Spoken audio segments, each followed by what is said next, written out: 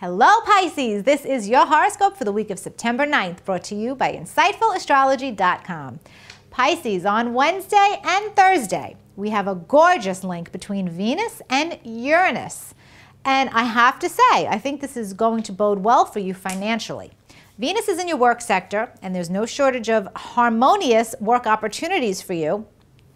And that link to Uranus in your money sector tells me that you are going to make money through an unusual situation that involves coworkers and colleagues. So maybe a coworker will give you a lead to a freelance opportunity or a second job, or they'll encourage you to move forward with one of your innovative talents to earn money.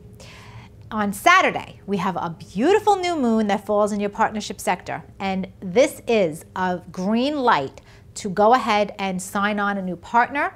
It's a beautiful time to develop your personal relationship with somebody close. You might even move in together, get engaged, get married. And again, the seventh house happens to also rule your clients if you're in business and see clients. So the two weeks following this lunation, expect a flood of new clients to come your way.